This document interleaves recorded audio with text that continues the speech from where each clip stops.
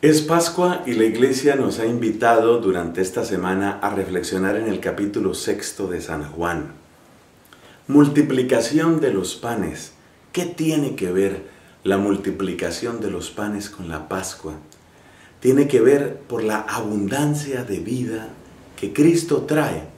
Tiene que ver sobre todo porque Él mismo es el pan vivo y sobre todo tiene que ver porque el pan vivo es el que da vida.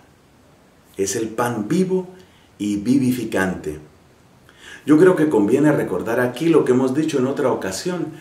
Cuando se habla de un pan vivo, es en contraste con los panes muertos, porque los panes que comemos están muertos, y si no los matamos nosotros, porque comer es quitar la vida, nosotros quitamos vida para tener vida. Esa es la cruel pero real situación de alimentarse. Y como también hemos dicho en otra oportunidad, esto no se salvan los vegetarianos. Los vegetarianos a veces dicen, estás comiendo vaca muerta, estás comiendo pollo muerto, pero es que si ese grano de trigo que sirvió para hacer tu pan, tú no te lo hubieras comido, señor vegetariano, pues ese grano de trigo hubiera servido para producir más trigo. Así que tú acabaste con el trigo por estar alimentándote. Tú como vegetariano suprimiste la vida del trigo para tener vida tú. Y creo que la única solución sería comer piedras y respirar mucho porque no hay solución con los vegetales ni con los animales. Nosotros nos alimentamos quitando vida. Pero ahora Jesús dice que Él es el pan vivo. El pan vivo es el pan que llega vivo a nosotros.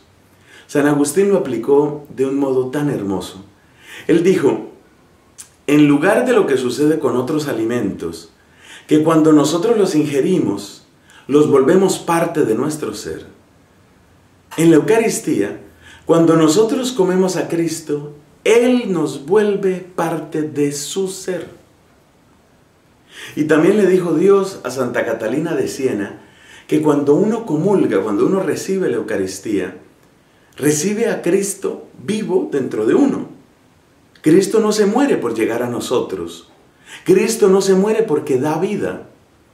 Muy al contrario, nos explica San Pablo, la muerte ya no tiene poder sobre él, lo cual significa que cuando Cristo llega a nosotros y cuando Cristo llega vivo a nosotros, pues llega dando vida y permaneciendo vivo, y esa vida de Cristo en nosotros es la que hace que nosotros seamos cristianos.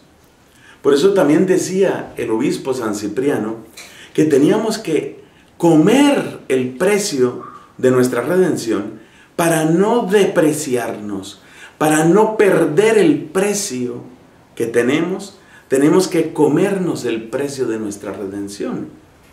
Así que este pan vivo que nos ha dado Cristo, este pan vivo que es el mismo Cristo, es el que conserva el valor en cada uno de nosotros. Por supuesto, estas preciosas enseñanzas, estas maravillosas enseñanzas, no son de fácil aceptación.